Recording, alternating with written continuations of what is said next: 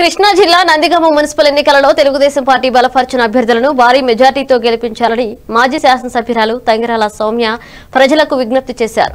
Chairman అభ్యర్థిని శాఖమూరి స్వర్ణలత ఐదో ward councillor అభ్యర్థిని ఏచూరు రత్నకుమారి తరపున ఐదో వార్డు ఇంటింటికి ప్రచారంలో ఆమె పాల్గొన్నారు.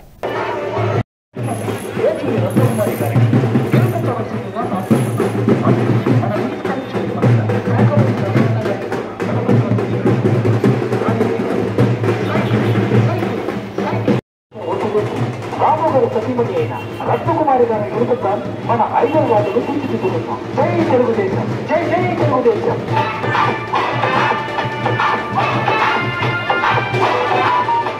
జై తెలుగుదేశం. జై జై తెలుగుదేశం.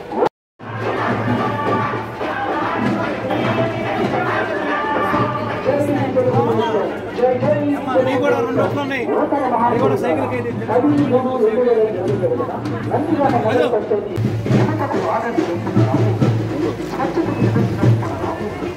వ్యాపార